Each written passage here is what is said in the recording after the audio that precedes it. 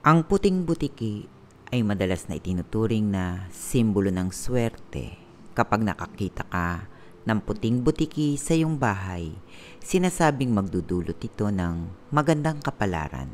May paniniwala na ang puting butiki ay nagdadala ng proteksyon sa bahay at sa mga nakatira dito.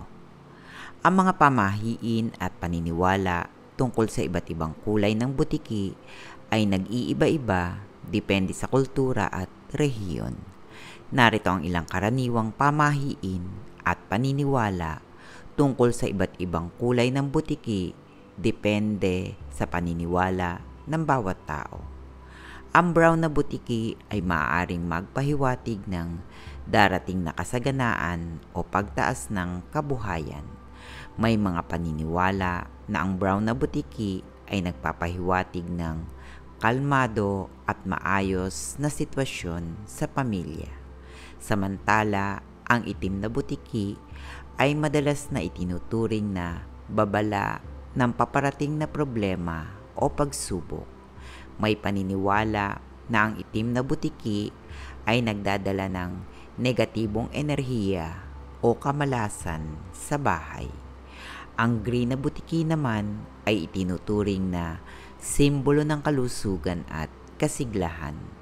Maaring magpahiwatig ito ng positibong pagbabago o bagong simula. Ang dilaw na butiki ay maaring magpahiwatig ng pag-iingat sa mga darating na desisyon o aksyon.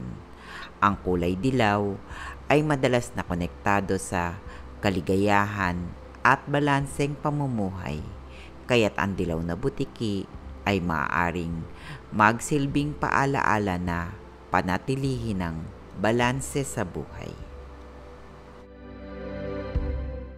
Ang blue na butiki naman ay maaring magpahiwatig ng karunungan at kaalaman.